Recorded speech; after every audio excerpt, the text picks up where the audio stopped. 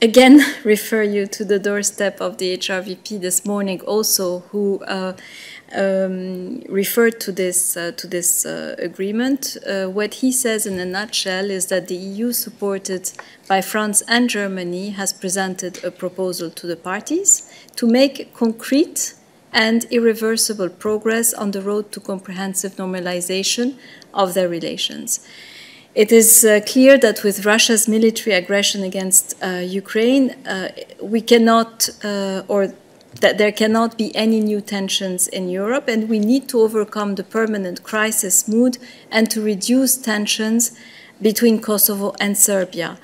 In this context, the HRVP Borrell has urged both parties to make rapid progress on the proposal and has mandated EUSR Lajčák to continue discussions with both parties.